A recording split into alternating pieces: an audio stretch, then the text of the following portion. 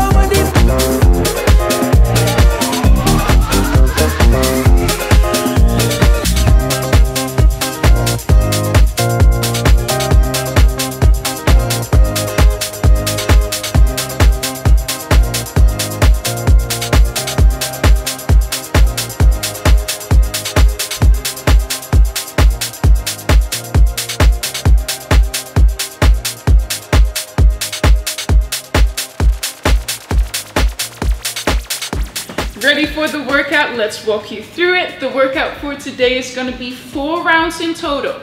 You're gonna have three different exercises and after each round, you have to have one and a half minute of rest. So make sure that you look at the clock and that you have this rest, okay? You cannot do one minute of rest and then start again. It has to be one and a half minutes.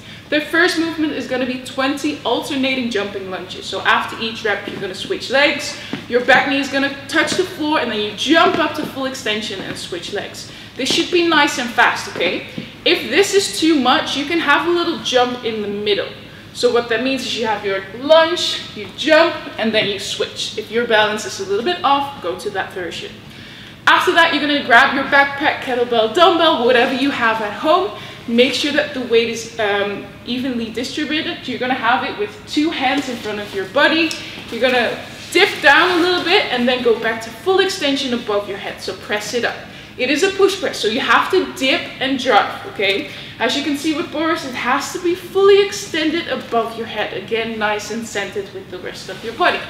After 12 push presses, you're gonna go down to your floor and do 10 sit-ups. And if you wanna add a little bit extra weight, you can do weighted sit-ups, holding your um, object in front of your chest. So you're gonna go down to the floor, then go back up. In this, you're gonna do 10 sit-ups. So like I said, after that, after you have the full round, you have to have one and a half minute of rest. That means for the second, third, and fourth round, you can go just as fast because you had some rest, okay? I want to see that you write down your time from each round because that's going to be your score in total. Okay, afterwards we have a finisher, so see you after.